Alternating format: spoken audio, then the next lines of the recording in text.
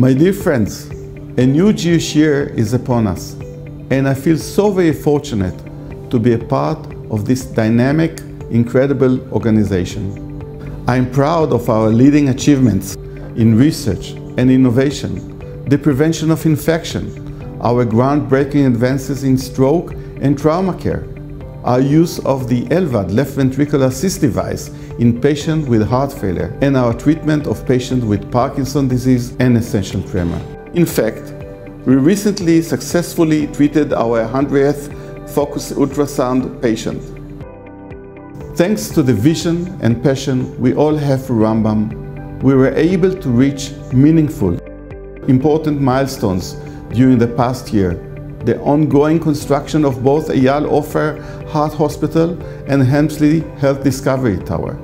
The festive, emotional opening of the new Professor Dov and Mrs. Edith Katz Maternal and Fetal Medicine Unit the refurbishment of the Department of Internal Medicine H, and so many other activities that allow us to continue to ensure that our patients, the families, and our staff are the heart of everything we do.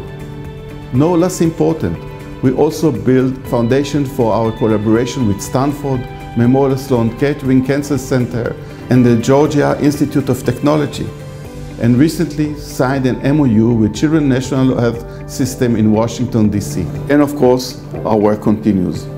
We will soon open the new state-of-the-art gynecological oncology unit, a cannabis research center, and our CAR T-cell therapy service, allowing us to expand the services we offer to the population of Israel and the entire region.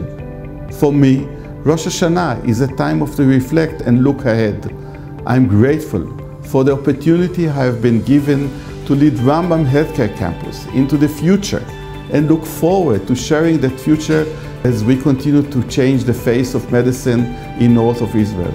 Speaking of the north, the tension along our northern border is growing. Even as we hope for quiet resolution of these events, we remain on alert and in contact with the Ministry of Health and the IDF and need to prepare for the possibility that we may have to utilize the Sami Ofer fortified underground emergency hospital. I'm confident that Rambam will be ready and able to handle whatever happens.